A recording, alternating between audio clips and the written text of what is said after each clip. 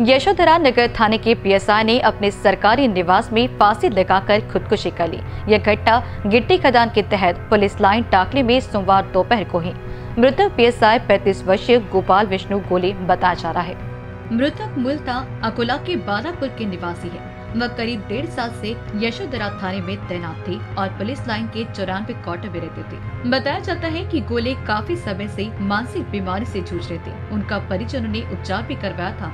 उनके माता पिता अकोला में रहते हैं। वह पत्नी और छह माह की बेटी के साथ रहती थी। एक साल पहले सड़क हादसे में भाई की मृत्यु होने के बाद गोली की मानसिक संतुलन अधिक खराब हो गई थी। उसे शराब की भी लत लग गई थी। उनका पत्नी से भी विवाद होता था।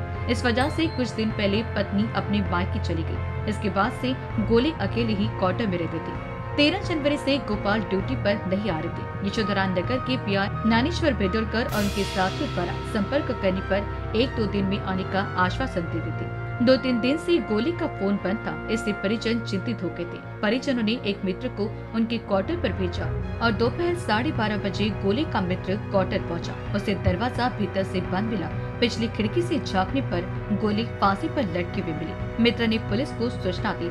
इसके बाद केटी खदान तथा यशोधरा नगर पुलिस वहाँ पर पहुँची। उसने गोली का शव मेयो अस्पताल में रवाना किया। क्वार्टर से सुसाइड नोट नहीं मिलने से खुदकुशी की वजह पता नहीं चल पाई। पुलिस को मानसिक तनाव में खुदकुशी किए जाने का संदेह है। बताया जाता है कि गोले के पीएसआई के चयन के वक्त भी मेडिकल अनफिट घोषित किया गया था। तीसरे प्रयास में उनका चयन हुआ और पुलिस में चयन से पहले वह पटवारी और शिक्षक के पद पर थे। गिट्टी खदान पुलिस ने आकस्मिक मृत्यु का मामला दर्ज कर जाँच आरंभ की है। कैमरा पर्सन अखिलेश भारद्वाज के साथ मनीष टिमरे की रिपोर्ट।